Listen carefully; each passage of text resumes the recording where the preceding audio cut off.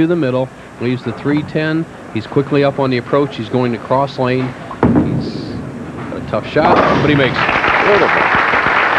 Marcus from Aberdeen. Aberdeen, Maryland, midway between Wilmington, Delaware, and Baltimore. The championship pair, 59 and 60, for the last two years, been the lowest scoring championship pair on our 16-week tour. The player is barely averaging 200. Now we'll see what Bowers is doing on the championship pair. He's standing here, going to slide in this area, try to start between the first and second arrows. A lot of loft. Chris, we've been sitting side by side, going on 18 years. That Never. is the wildest shot I have ever seen. I've seen some in the channel, but that's the wildest. A stray. oh, my goodness. He barely catches the four pin going away. He leaves the one, two, three, five, ten. What do you do? Throw it hard as you can possibly throw it and holler whatever. Six-pin lead now by Ringener. Here's how he converted it. We don't have this in our Betamaxes of how to make spares and overhead shots. Well, we never thought it'd be left, but Mark is taking us on an adventure. Now, Phil Ringener has to be buoyed by the wildness of Bowers. He can extend his lead to 14 with a strike in the sixth. And he does.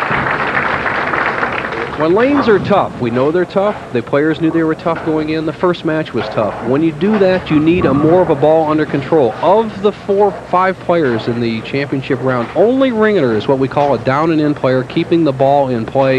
If he gets nice and relaxed and really gets zeroed on this pair, he can be very tough just filling the frames. Right now, he can extend to a 24-pin lead, seventh frame. Harry Sullins is in the wings along with Bob Vespi, standing in the way of the winner of this match. Philip Ringener in the lead by 24. We'll be back.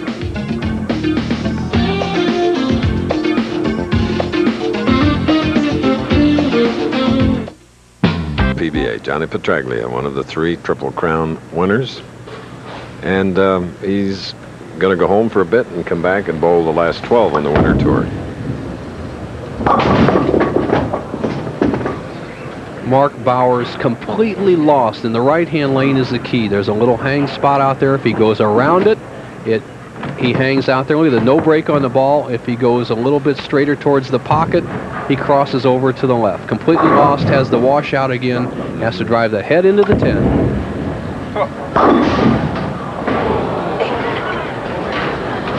So for Mark, it'll be the wrong kind of experience, but he'll remember it down the way.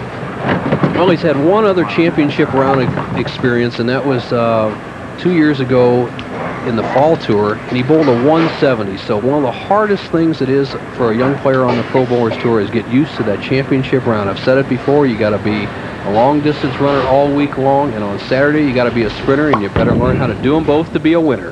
And it's here amazing how difficult it is to get in the final five because, as Bo mentioned earlier, it's a 56-game format.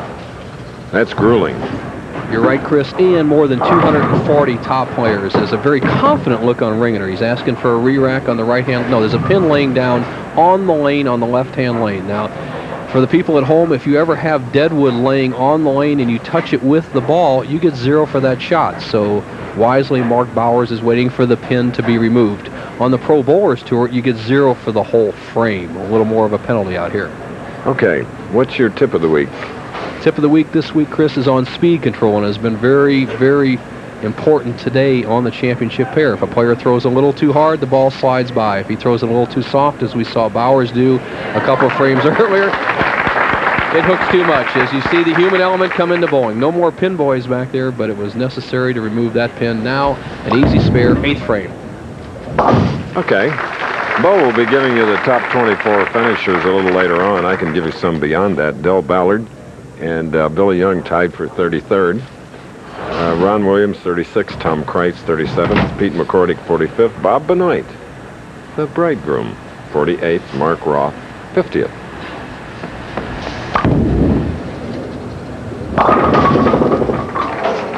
So with a three-bagger, Bill was trying to make it four in a row.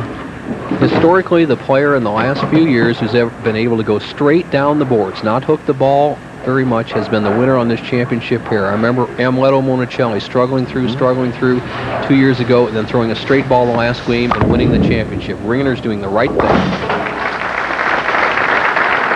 David Ozio, the defending champion here, uh, finished 10th. Another Texan from Vidor, Texas. Phil is from Big Spring. No S.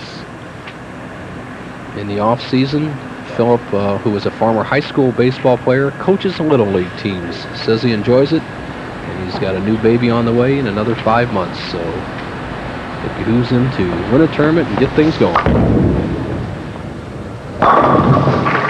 Beautiful.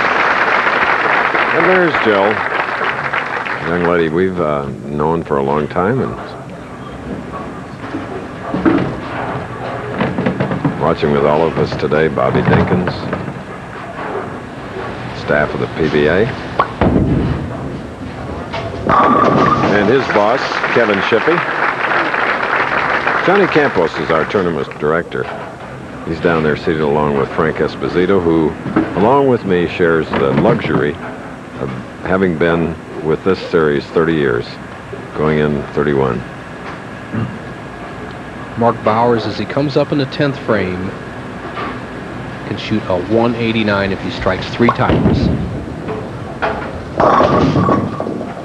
3 6 10. No good. That's a shutout. Automatic winner for Phil Ringener in the second match as He's never been headed today. Chris Warren with a 160 game. If Mark Bowers bowls a spare here in the 10th, he'll be in the 160s. Who can give a little competition to Ringener? Will it be the three-time champion, Harry Sullins, in the next match?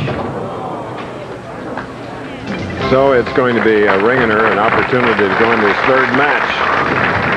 The tip of the week with Nelson Burton Jr., how the ball speed can affect your accuracy and